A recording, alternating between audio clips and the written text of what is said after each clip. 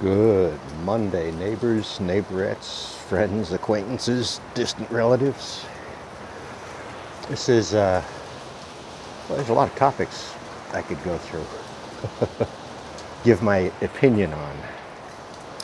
But we've gone full beard, neck beard and all. Growing a mustache out like this is uh, a challenge. So what's we going to talk about now? My radiation reading friends, Geiger counter friends out there that have done this, and please pass a reminder along to those that use these. Given the current environment, you've probably put your meters up. It might have been months or years since you had a need to drag them out. But what we need to know is baseline information. What is today? Because changes from today are changes that can be talked about with data and statistics, right? But you have to keep in mind with your meters, there's ways to apply them so that the readings have meanings. Repetitive, consistent sample taking if you did it this way five years ago, do it this way again. You can find folks taking, most of this is YouTube stuff, or I'm sorry, uh, Facebook stuff, and it's old now, it's dated. Folks have calmed down after Fukushima or gone on to other things. Worthy things, I hope. Anyway, your Geiger counters. Please get them out. Post on your friends' sites to just grab today's numbers, maybe tomorrow's numbers, grab three days worth of numbers, because there's a technique called period averaging for these data sets that almost has to be applied.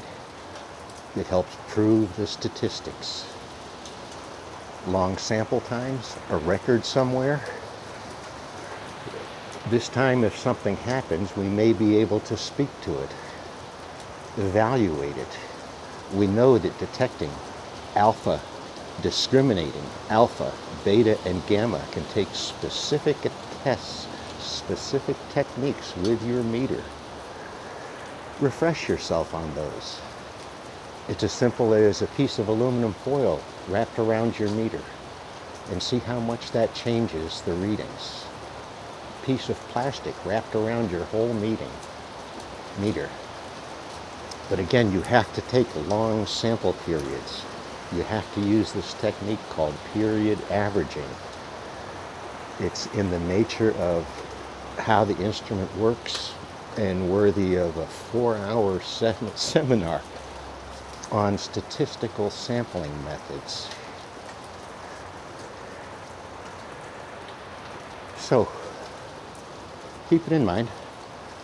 I will take a set of readings and just post it here. This is the only place I play, but it's public domain. If I get a large data set, this is a challenge, displaying these data sets. Another story, another long video on technology and what it takes to put together a map, like the Safecast map to display something. Now, Safecast is a tough one. It's not sensitive enough for my tastes but it is a consistent, reliable set of readings. It's developed into what is now a normal, but at some point is a T-normal over time, a temporary normal. A T-norm can last a day, a week, an hour, a month, a year, generations. Generations, this is really what we're talking about. So fire up your meters, charge them up, take a look. Mine's down in the basement. I know I've got a bunch of records on it spread out over time. And I stash it in other places just in case, because if I can find statistical meaning, I can present statistical meaning and speak to it. That's kind of been the plan all along. So, pieces out, charge your meter up, take a few readings, get comfortable with touching it again. They do not hurt or harm you.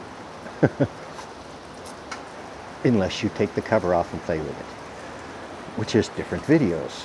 Anyway, pieces out. Do a bit of metering.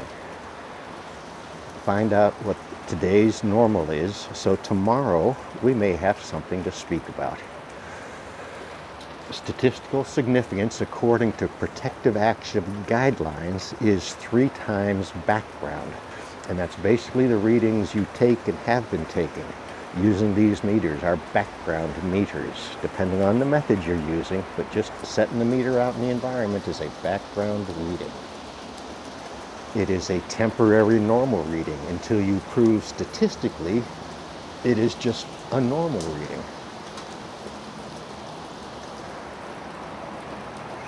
Some calculus in this stuff, beyond calculus. Pieces out. Hippies were right. They had a point. Quite a few of them.